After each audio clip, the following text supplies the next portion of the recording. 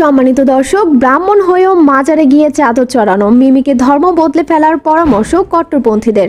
পুরো খবরটি জানতে হলে ভিডিওটি শেষ পর্যন্ত দেখুন। দেশ বিদেশের সব খবর পেতে আমাদের চ্যানেলটি সাবস্ক্রাইব করে বেল বাটনটি অন করে অল নোটিফিকেশন সিলেক্ট করতে ভুলবেন না কিন্তু।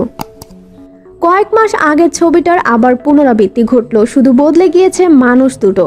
আগেরবার মাজারে যাওয়ার জন্য সমালোচনার শিকার হয়েছিলেন রাজ চক্রবর্তী, এবার সেই জায়গায় এলেন মিমি চক্রবর্তী।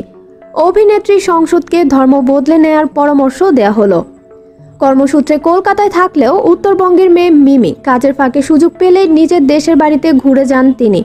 সময় কাটান পরিবারের সঙ্গে, নতুন ছবি মিনি মুক্তি পেয়ে গিয়েছে, কাজের চাপ অনেকটাই কম। তাই এই সুযোগে নিজের বাড়িতে চলে গিয়েছেন অভিনেত্রী। সেখানেই হলদে বাড়িতে হুজুর সাহেবের মাজারে গিয়ে চাদর চড়ান মিমি।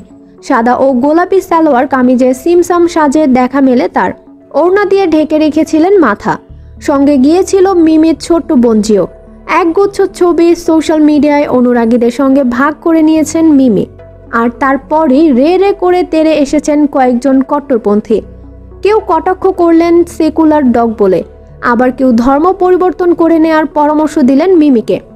ব্রাহ্মণ হয়েও মাজারে যাবেন কেন মিমি? প্রশ্ন নেট নাগরিকদের একাংশের। ঠিক যে প্রশ্নের মুখে ঈদের সময় পড়েছিলেন রাজ চক্রবর্তী।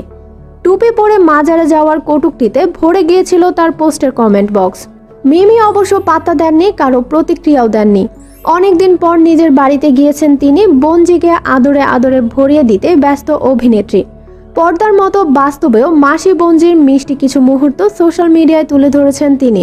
প্রসঙ্গত, গত ছয় মে মুক্তি পেয়েছে মিমি চক্রবর্তী ও আয়না চট্টোপাধ্যায় অভিনীত মিনি।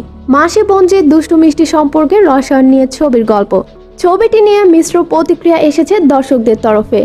সম্মানিত দর্শক, সত্যিই কি মুসলিম হবেন মিমি? কি মনে করেন আপনারা? কমেন্ট করে জানিয়ে দিন আমাদেরকে। ভিডিওটি আপনি যদি পছন্দ করে থাকেন, অবশ্যই অবশ্যই লাইক করবেন আর অবশ্যই কমেন্ট অ্যান্ড শেয়ার করবেন আপনার বন্ধুদের সাথে। কারণ দেশ বিদেশের সব খবর এখানে পাবেন। আর হ্যাঁ সাবস্ক্রাইব করে বেল বাটনটি অন করে অল নোটিফিকেশন সিলেক্ট করতে ভুলবেন না কিন্তু। ধন্যবাদ সবাইকে।